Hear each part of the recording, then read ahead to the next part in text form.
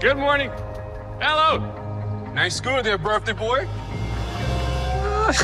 that shirt, that's funny and also makes me feel bad. Love you, Dad.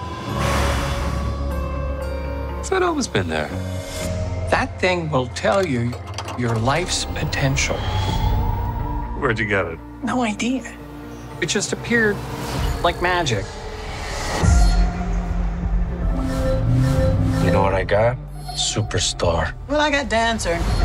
Male model. Make it stop. What's going on? Why is everybody trying to change their lives overnight? We're getting a divorce. The Morpho inspired us. What was your card? Healer, a sign to engage in self healing. Or maybe it meant doctor, as in the profession that you do every day. You asked if I was happy. Are you happy? I'm 40 years old. I have no discernible talent apart from whistling. And I've only ever been in one relationship. Mm. I don't know if I'm happy. Never had to think about it, which was nice, actually. It's not like I really believe there's a magical machine that can tell people what they're capable of.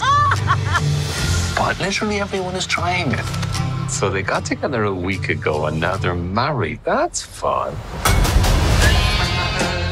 Maybe everything is not quite as it seems. That is deep.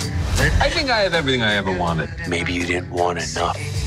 This machine, magic or not, is reminding people our lives have more than one possible path. We have been asking where the Morpho came from. What's inside it? What we should be asking is what's inside of us. You're going to decide your own life potential.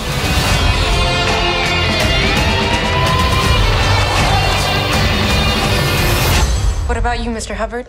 What are you going to be?